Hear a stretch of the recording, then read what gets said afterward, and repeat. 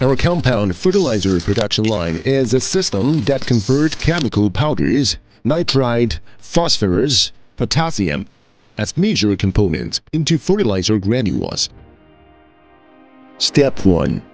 Batch different materials precisely and automatically at set ratio. Step 2. Blend batched materials fast and homogeneously ensure a balanced nutrient content in final products. Step 3. Produce high-quality compound fertilizer granules with various formulas and specifications by wet granulation technology. Step 4. Dry the granulated fertilizer material with a certain humidity for long time storage and hardness strengthening.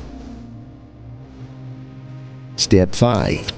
Reduce fertilizer granules temperature in the granulation and drying process to ensure product stability.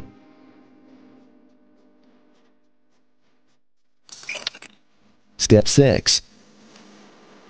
Separate fertilizer granules from different sizes to ensure product uniformity.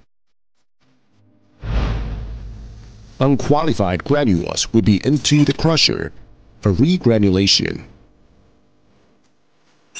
Step 7.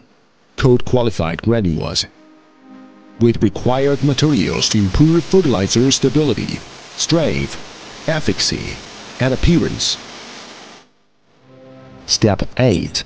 Pack final coated fertilizer granules into bags as required weights. Step 9. Automatically stack bags of compound fertilizer on pallets in a predefined pattern. By dedicated equipment manufacturing, our compound fertilizer production line can produce formulated compound fertilizer automatically, continuously, and efficiently as customer farming requirements.